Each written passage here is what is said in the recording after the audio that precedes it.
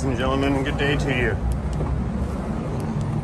Let's see what kind of surprises this hoopty ride gives us. What we have here is a classic 2009 Chrysler Town & Country miniature van. It makes a noise on startup with a check engine light. Oh, power steering noise. Okay, let's plug in the scanning device and see what this thing has. But first, let's see if it has air conditioning. Because it is about 200% humidity today. I'm hot. Powering on Chinesium grade scanning tool. Shit, no, this old piece of junk doesn't have AC. Scanning VIN number, fancy programming.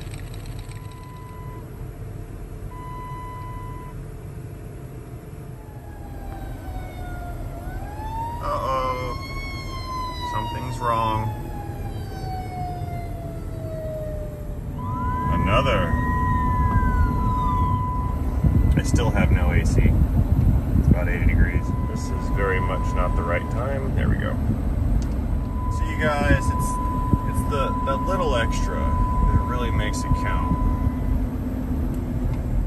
Coming into the shop. Stay. Stay there. Alright, we're going in. And it's already starting to overheat. So, shutdown time. Alright, well, I just got back from a two mile test drive. This thing already smells like coolant leaking. Let's see what's in the. Here we go. Okay, yeah. Coolant temp sensor circuit low. Manual shift overheat. I don't know that one. I'll have to research that. And oh, some stuff in the ABS module too. Hmm, brake module internal. Wonder what that means. And it's uh, yeah, it's got some some things going on here. Okay. Man, you guys, I wasn't even gonna make a video about this car, but it's such a pile. I think that we might wanna might wanna stick around. Yeah, antenna's broken. Ooh.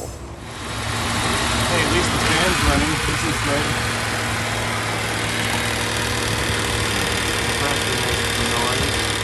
The dipstick is broken off inside of the tube. All right.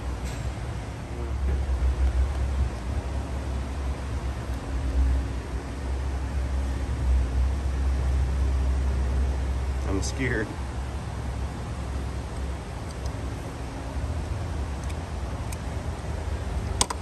Water.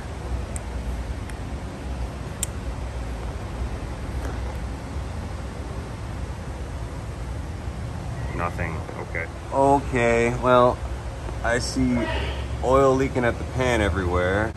I have located a leak at the power steering high pressure hose. Not a huge one, but it's been it's been leaking for a while. Yeah, this this oil pan gasket is definitely seeping everywhere.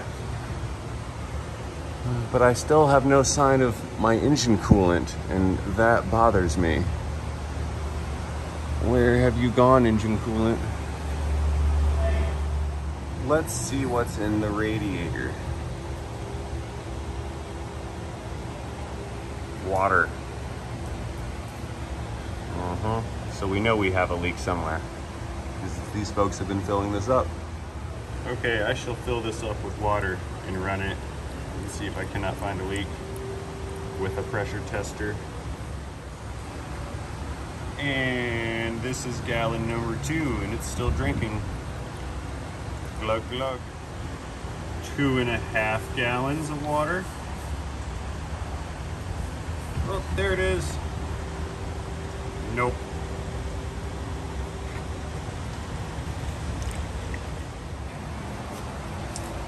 Look, guys, it's leaking. I found it. Aha. There it is. Green. There's that little guy right there. Heater hose. Oh, it's not connected. Cars are like a box of chocolates. No shit, look at that. Yeah, they they changed that fitting once upon a time, but never uh, never put the clip back in it. Uh-oh. Okay. Let's just take a look at this. Hmm. Okay, it has the it has the clip. So why why aren't we connected? Hmm. Okay. Two hands. Oh, that was warm.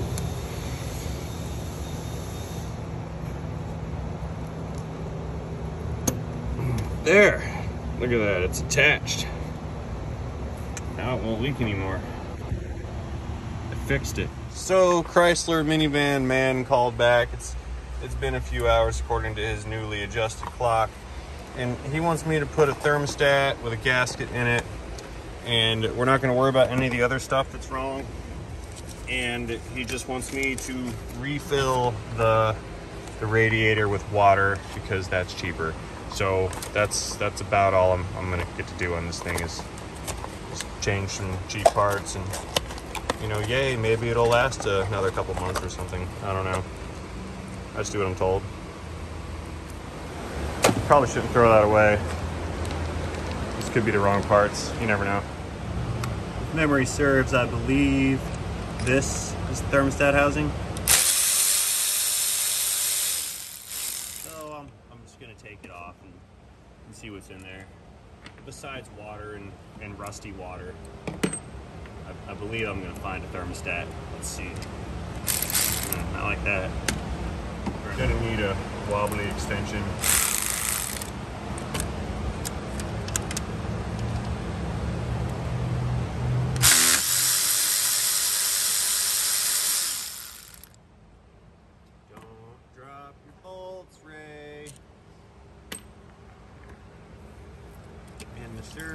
Says yes, thermostat. Ah, ow. Almost cut my fingy.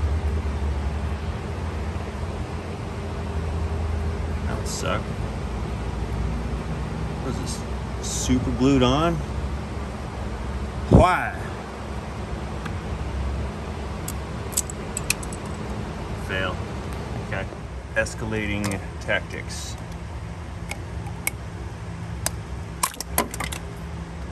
That's gone forever. No, really. So I, I thought I was joking, but that that thermostat really is gone forever. So I'm just gonna just gonna put the new one in now and, and get this piece of crap out of here. Because this is a do nothing, no progression at all job. Yeah, so I, I actually thought I was kidding when I said that thermostat was gone forever, but I, I can't find it anywhere down here, so I, I think it might be. Uh, that being said, I'm putting a new one in and moving on. There. And we just stick it right in there. This is good.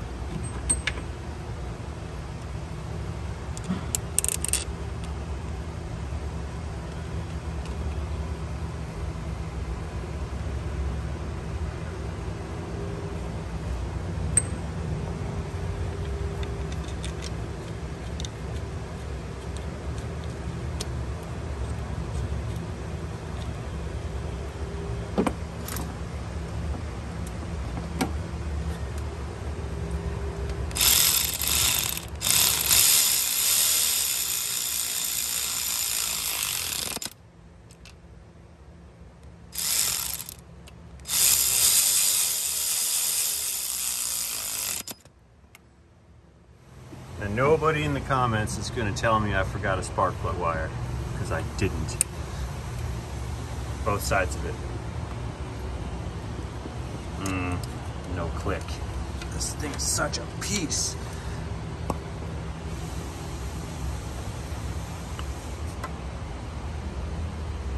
Uh, click.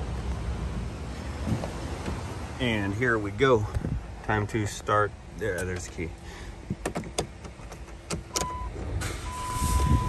Hey, it still lives. So I, I got to tell you, this this guy said he doesn't want he doesn't want to put any coolant in it, but I don't give a shit.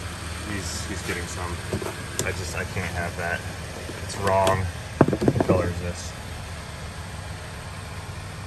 What color is it? Yeah, that's water. That's not water. We're using this. It's like this whole video is me pouring stuff into a radiator. Chrysler complete. So, seeing how this particular vehicle was kind of a joke of a repair, let me know what you think the future holds for this here piece of machinery down in the comment section below. You think we're gonna come back with a warning light complaint? Or are we never gonna see this guy again? Customer states, ever since you fixed blah, blah, blah, my check engine light is on. Oh, better shut that key off. There we go, try again. So like I said, let me know down below what you guys think. Think we're ever gonna see this hunk of junk again? Or is it just going to disappear on its way back up to Indiana, never to be seen by any of us? On the bright side, it appears that adding engine coolant has made the car stop overheating. Again, thank you guys for watching. I hope you enjoyed the show. I hope you show a little bit of attention to that like and subscribe button. I'll see you in the comments down below. And don't forget, have a great day.